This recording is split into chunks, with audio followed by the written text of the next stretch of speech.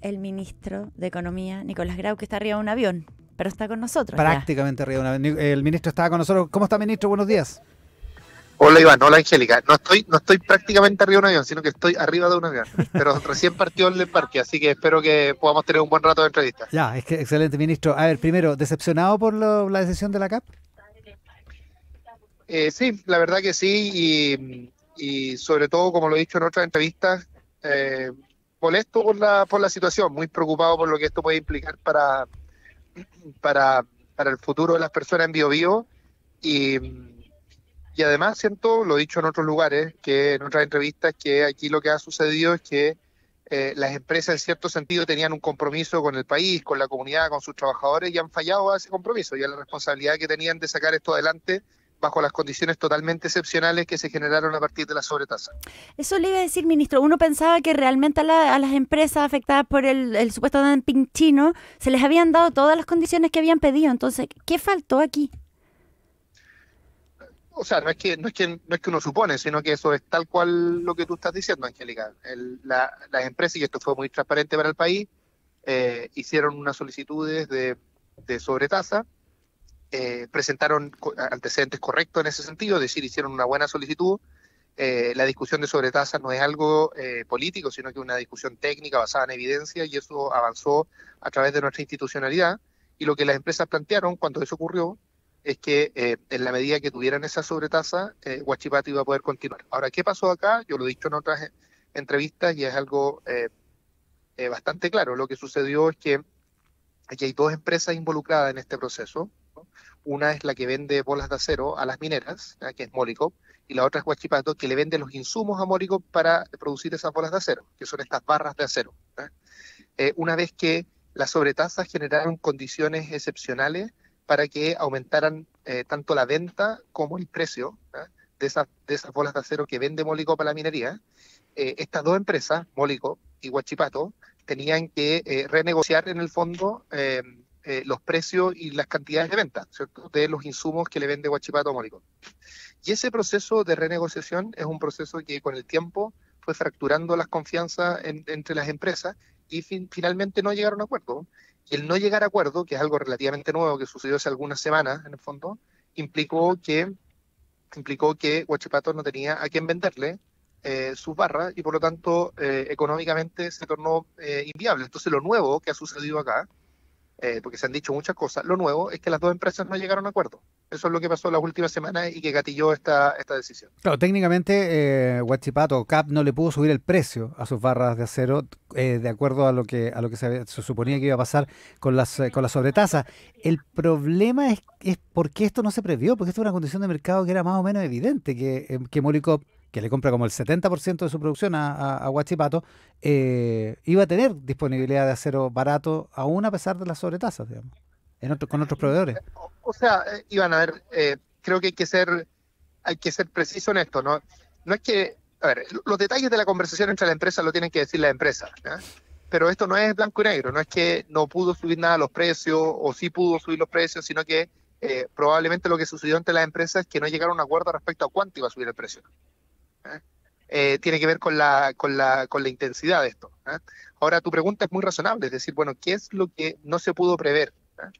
A mi juicio, lo que no se pudo prever es la falta de responsabilidad de las empresas de no haber llegado a un acuerdo. un acuerdo de este tipo, por supuesto, tiene dificultades, pero empresas de esta naturaleza lo hacen todo el tiempo. son, son acuerdos más que estas dos empresas llevan haciendo durante décadas. Y lo que sucedió acá es que eh, se rompieron las confianzas, no pudieron hacer eso, ese acuerdo y entonces finalmente eh, decidió seguir otro camino. ¿eh? Eh, y claro, si esto fuera dos empresas normales, digamos, en una situación normal de mercado y que se ponen o no se ponen de acuerdo, uno diría, bueno, eso lo mismo, son dos empresas privadas que tienen todo el derecho a ponerse o no ponerse de acuerdo, pero aquí no es, no, no, no es la situación. Y por distintas razones. Primero, porque este no acuerdo va a implicar una gran cantidad de personas sin empleo. Segundo, porque estas dos empresas le pidieron al país un esfuerzo excepcional. Estas dos empresas le dijeron, cuando estaban pidiendo la sobretasa a todo el país, que el acero era estratégico para Chile, que implicaba mucho empleo y que por tanto se le pedía un esfuerzo excepcional al país a través de este procedimiento institucional de la sobretasa.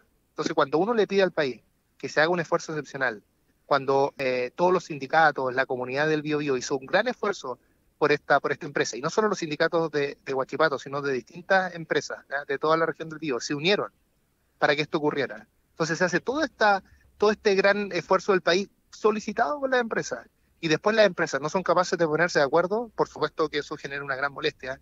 Eh, y es lo que a mí me tiene muy indignado respecto a esta situación. Ministro, la aplicación de sobretasas también implicó una tensión con China.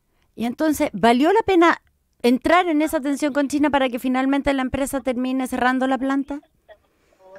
A ver, yo, yo diría lo primero, Angélica, que eh, algo que nosotros hemos hecho durante todo este proceso es seguir el camino eh, institucional. Yo sé que esto eh, a veces se, se, da por sentado, pero no es así en, en, muchos otros lugares.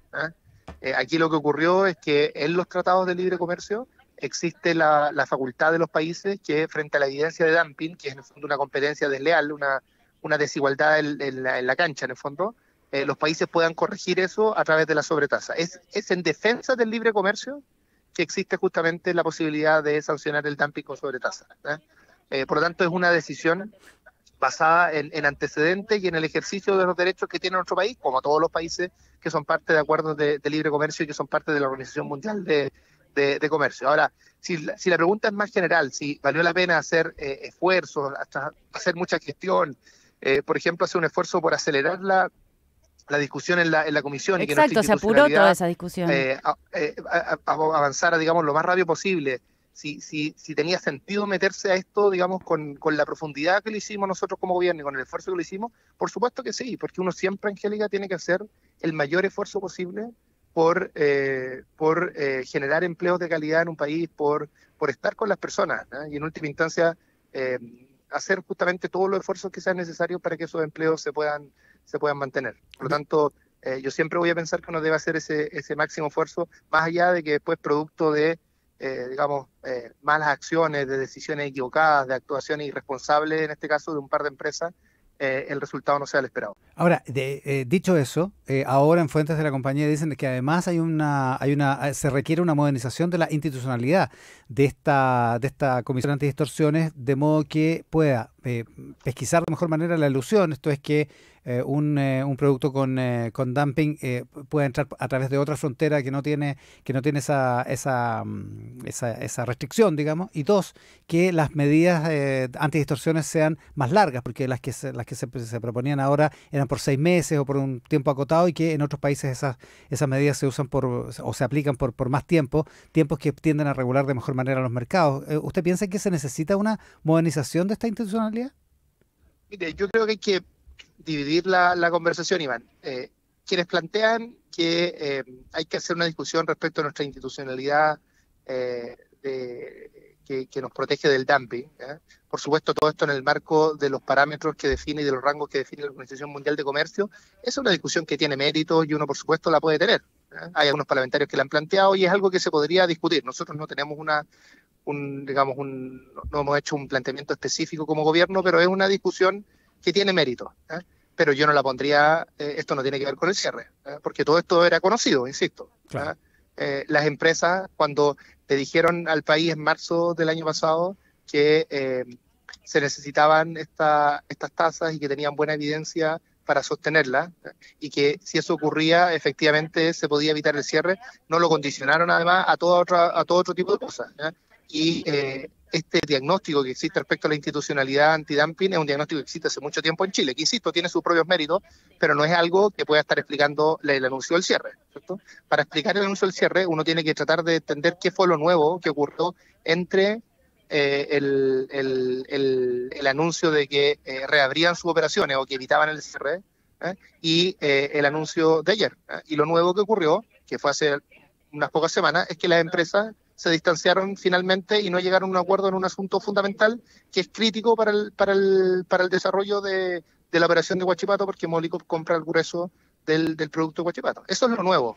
Y eso es lo que tienen que dar explicaciones de las empresas de por qué, después de todo este esfuerzo que se hizo como país, ellas fallaron a la región del Biobío de esta, de esta manera. Ministro, finalmente, ¿qué cree usted que hay de fondo acá? Porque las empresas dicen que no se pudieron poner de acuerdo en los precios, pero ¿es eso finalmente que la planta Guachipato no es viable y, un, y una, un síntoma de eso podría ser que apenas se anuncie que se va a cerrar indefinidamente la acción de la CAP sube?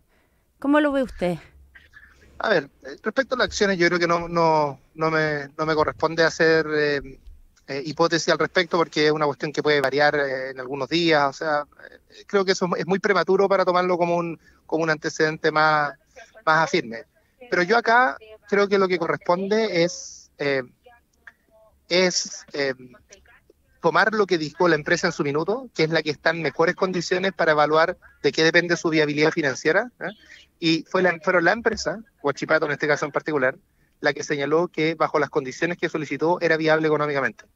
Yo no puedo, no, o sea, ningún Ministerio de Economía, Angélica Iván, va a tener la información de la estructura de costos de una empresa. Por lo tanto, nosotros no sabemos los detalles y eh, no podemos ver en el fondo, eh, digamos, eh, cuán, cuán sólida fue esa afirmación.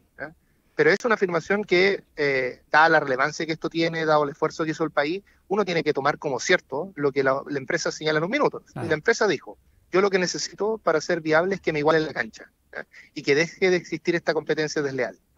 Y esa igualada de cancha eh, tenía una expresión en sobretasa tanto en las bolas de acero como en las barras de acero. Claro, haber, igualado esa cancha es algo que efectivamente eh, se realizó y después, a pesar de todo ello, se toma esta decisión que es muy, eh, que es muy sorpresiva. Ahora, mi impresión es que lo que ocurrió acá es que en la negociación entre ambas empresas se actuó estirando el elástico de ambas empresas y actuando de forma muy irresponsable, como si fuera una negociación cualquiera, ¿eh?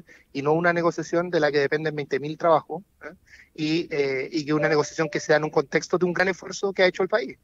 Eso es lo que yo creo que sucedió, y los privados, por supuesto, tienen todo el derecho a hacer sus negociaciones como estimen pertinentes, pero, pero en este caso en particular tenían una responsabilidad distinta en la forma en que se hacía esa negociación.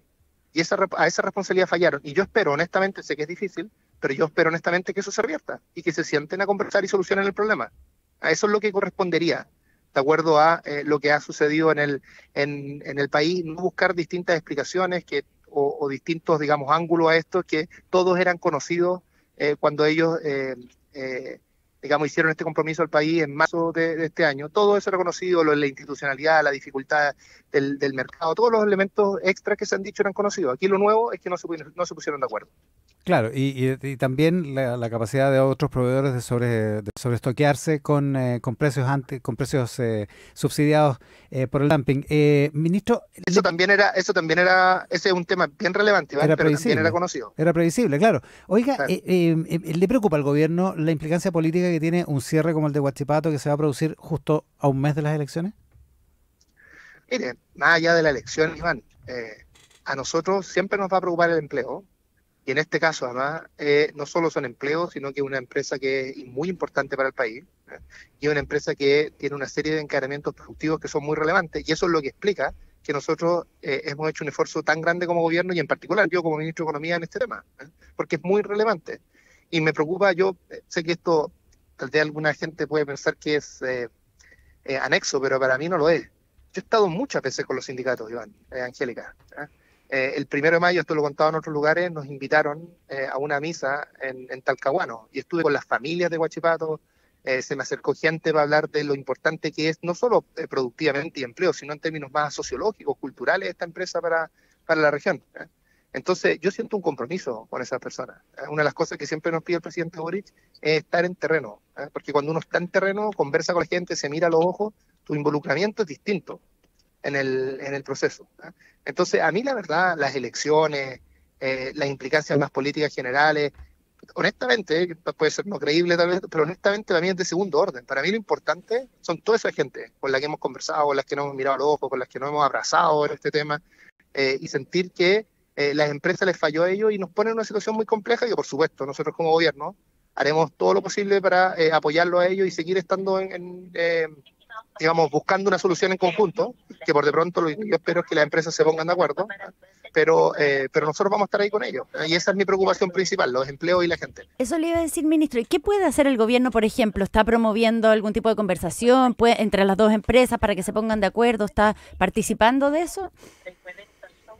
Nosotros lo que es muy buena pregunta, nosotros ofrecimos eh, durante las últimas semanas, cuando tomamos conocimiento de la dificultad que estaban teniendo estas negociaciones, nosotros ofrecimos ayudar en algún mecanismo de mediación. Probablemente no es por nosotros, pero buscar, a, buscar un buen mecanismo de mediación existen en el sector privado ese tipo de, de procedimientos, eh, pero no fue, no fue considerado.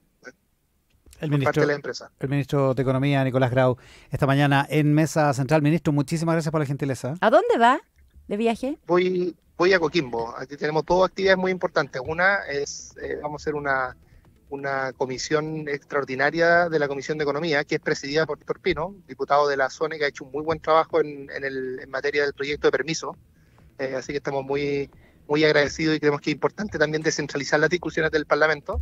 Y además, algo muy relevante es que vamos a la, a la inauguración de una planta de pirólisis, eh, que fue una planta, que fue la primera inversión agilizada, apurada, en todo este proceso que hemos hecho de recorrer todo el país apurando la, inversión, en estas mesas de inversión que ya hicimos en todas las regiones, salvo la región metropolitana. La primera región a la que fuimos fue Coquimbo, y uno de los primeros proyectos que buscamos agilizar fue justamente esta planta de, de que una, una planta que en el fondo toma neumáticos y los transforma para hacer economía circular y ocuparlo en otros procesos productivos. Así que eh, es, es, bonito porque en el fondo es la muestra de que cuando uno recorre el país y acelera los procesos de, de inversión, esto tiene consecuencias concretas y es bueno ir a, a celebrar también esas consecuencias. Así que vamos ahí a, a la inauguración de esa planta en, en Coquimbo. ya, buen viaje, buenos días. Buenos días. Bueno, un abrazo, que esté muy bien.